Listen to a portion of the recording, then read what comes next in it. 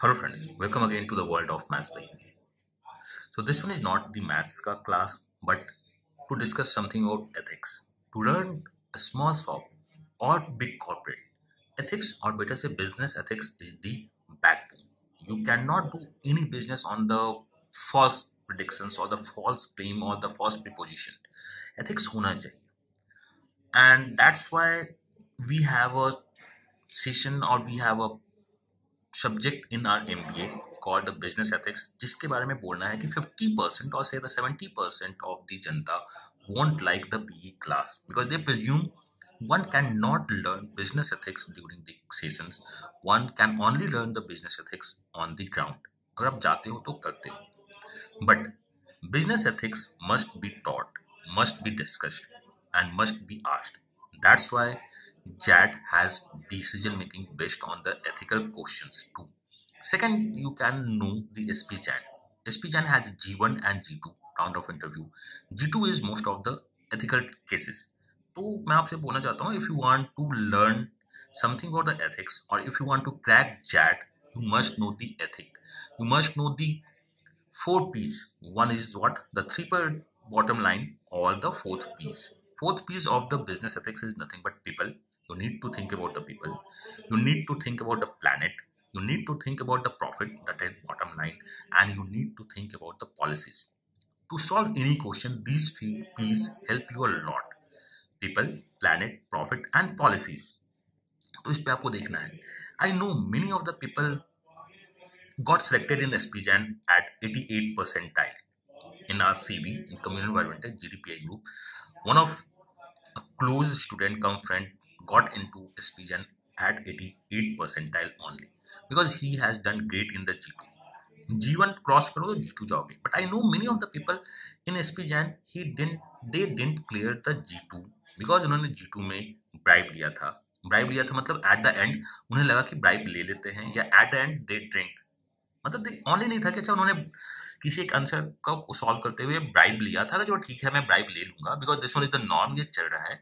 या मैं ड्रिंक करूँगा because I am in the party so these are the small reason जो आपके सिलेक्शन को रोकता है. You need to think like a corporate world जो गलत है, सो गलत है as per the rules as per the policies आपको वहाँ पे अपने थोड़े से एथिक्स को साइड रखना होगा बिज़नेस एथिक्स अलग होता है and you need to answer as per the ethics आप क्या करोगे, क्या नहीं करोगे is a different case but you need to answer as per the ethics so I am going to give you a situation सोचना।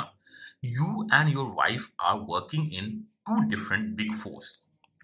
आप big four में काम कर रहे हो you and your wife your wife is pregnant and but she has some complications आपकी wife pregnant है and उसको कुछ कॉम्प्लिकेशन है। डॉक्टर ने कहा कि वो प्रेशर हैंडल नहीं कर सकती है। अगर प्रेशर आएगा तो बेबी को प्रॉब्लम हो सकता है। So this is a situation. You are working in a one big four. She is working in another big four, and she is pregnant. And doctor ने कहा है कि कॉम्प्लिकेशन है तो प्रेशर वो शायद हैंडल नहीं कर पाए कैरी करने में तो ये है आपका then one day got some information from your company that in her company there is going to be a some policy change जिससे उसकी जॉब को प्रॉब्लम होने वाली है यू गॉट अ न्यूज़ कि एक पॉलिसी चेंज होने वाला है उस, आपकी वाइफ की कंपनी में जिससे उसको प्रॉब्लम होने वाला है और हो सकता है वो जॉब उसको छोड़ना पड़े। मतलब उसको पिंक स्लिप दिया जा सकता है।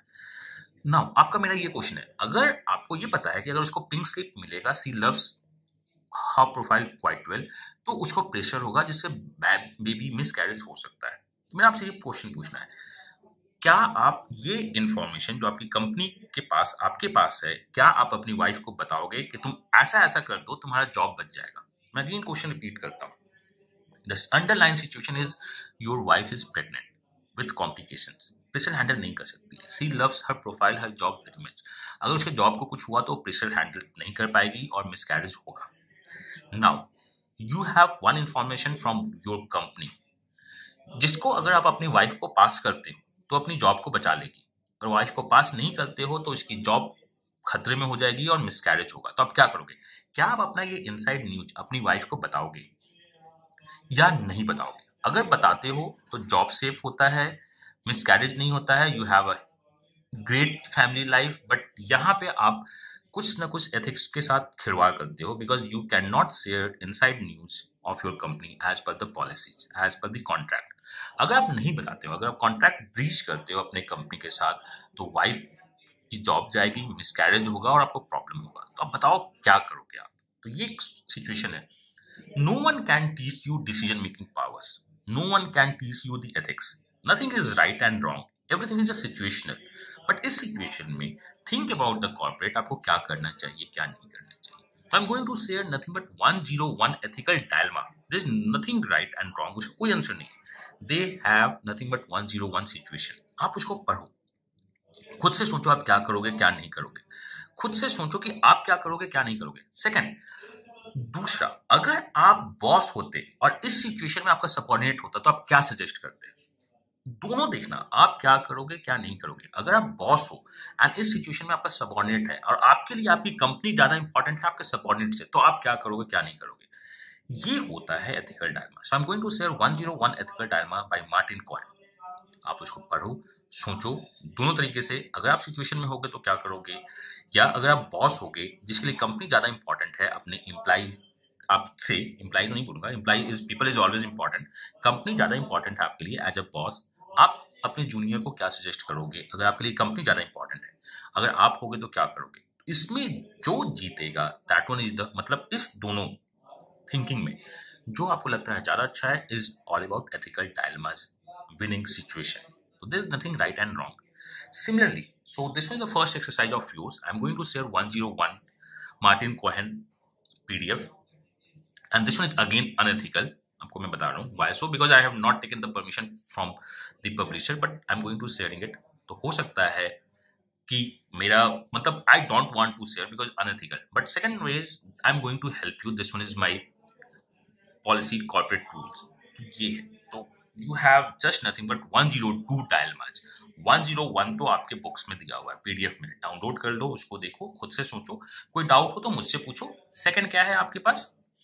कि क्या आप इनसाइड इन्फॉर्मेशन अपनी वाइफ को शेयर करोगे? एंड कमेंट में बताइए क्या करोगे, हम इसे डिस्कस कीजिए। तो this one is your homework of the week please read and crack the 101 ethical dilemma. This is going to help you in chat as well as in the SPGen interview, as well as in the live and the other VAT and PI. And give me the answer of what will you do क्या आप inside information दोगे अपनी wife को? अपने बच्चे को बचाओगे?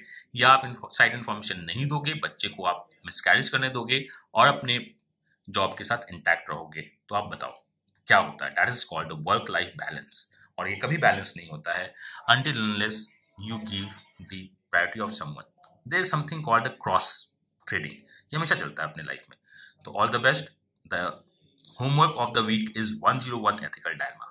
Read, solve, discuss, and give your best in the decision making for the chat. God bless you. Happy learning and bye bye.